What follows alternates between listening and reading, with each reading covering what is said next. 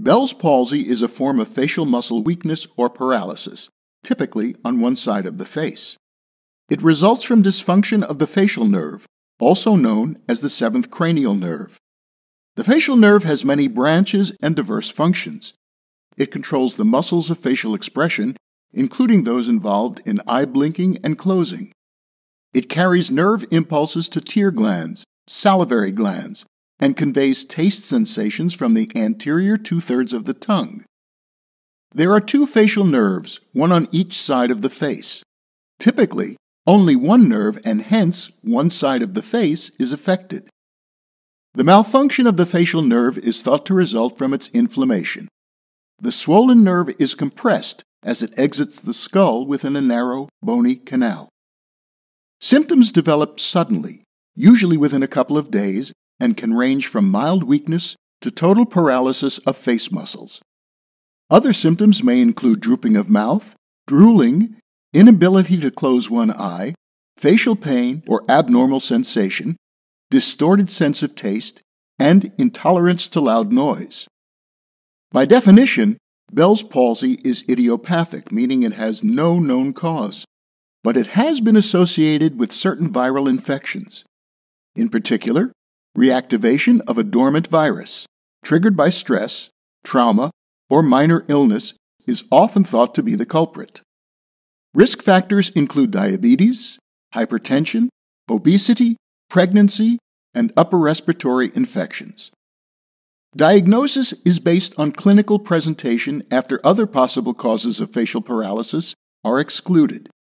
Patients usually present with rapid development of symptoms, reaching a peak in severity around 72 hours from the time of onset.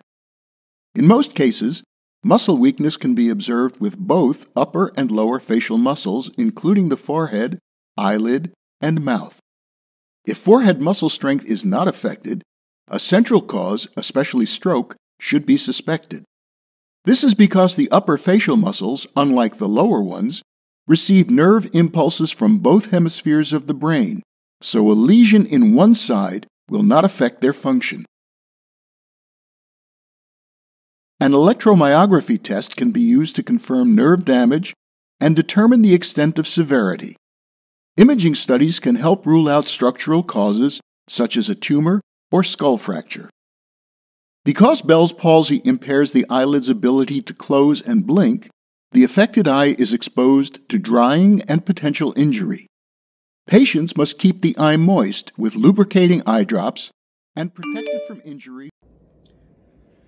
Hello, this is Eitan Shalom at the Body Mind Wellness Center, and I'm working on this young man who has Bell's palsy, and I'm doing uh, acupuncture with electrical stim.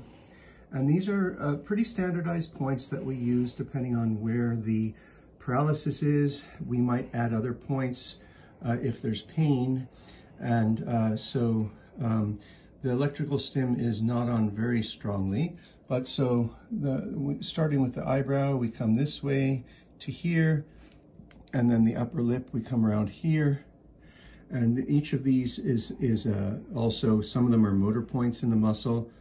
Uh, and then we get into the masseter muscle. And then he, right now he's having an issue with the lower lip more.